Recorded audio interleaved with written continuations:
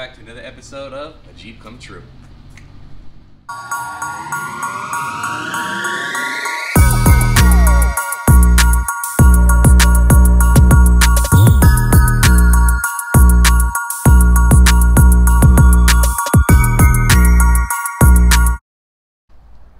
So today I'm going to be showing you guys how to take off your doors on a two-door, four-door Wrangler and Gladiator. The steps are going to be the exact same. The process is going to require just three tools and four easy steps. What's going on, man? Thank you much. Appreciate you. Always a good day to get Jeep parts. Tune in next time and see what it is. Okay, so the three tools you're going to need is a flathead screwdriver to go ahead and pop the panels off. Also break loose the wiring harness that are attached from the door to the cluster itself. A socket with a T40. This actually usually comes in your Jeep bag already, so you don't have to worry about finding another one. And then thirdly it's going to be a socket with a T50. This right here is going to go ahead and... Oh, somebody's showing off their new birthday present. Somebody had a birthday here. Who was it? Yan yan. How old you turn? Four. What did you get for your birthday? Jeep.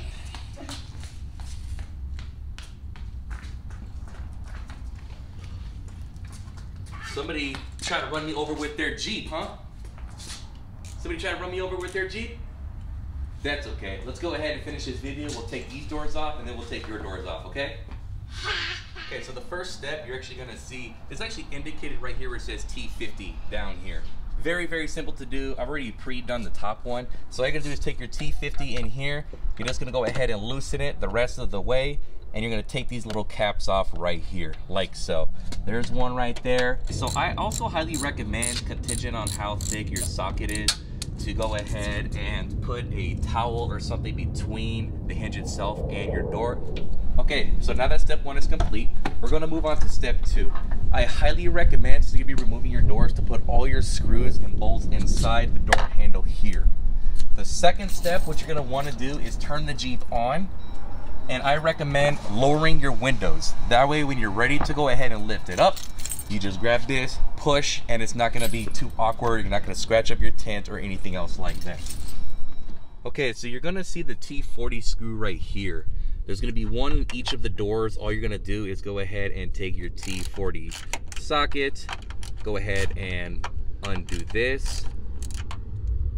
Once you've completely loosened the door hinge screw, you're just gonna pop it off like so. Again, put it inside your door handle here just to go ahead and make it simple. You're gonna notice the only thing that's left is the harness and door holder itself. You're gonna grab this, pull it towards you, pop it off.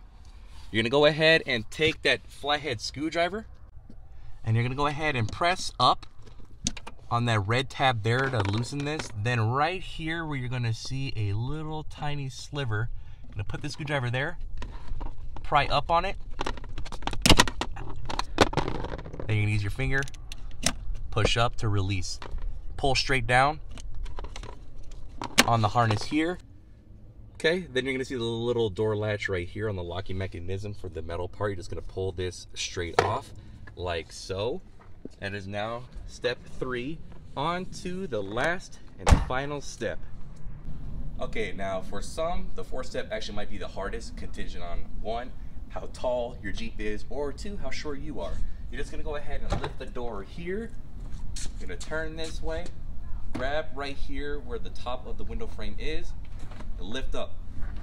Your door is now off. You're gonna go ahead and set it in a safe place.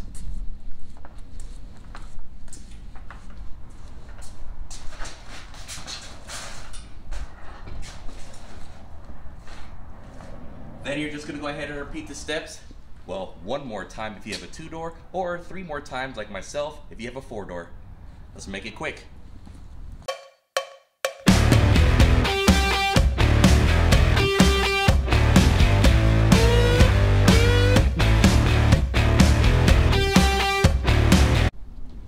Okay guys, now that Lucifer has the doors off, there's just one more step we have to complete to be 100% trail ready.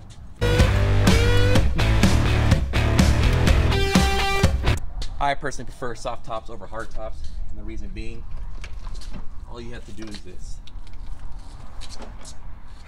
That's it. We're ready to roll, baby. Alrighty, guys. As always, thank you so much for continuing to support our channel. Thank you for tuning in. We'll see you guys next time on A Jeep Come True.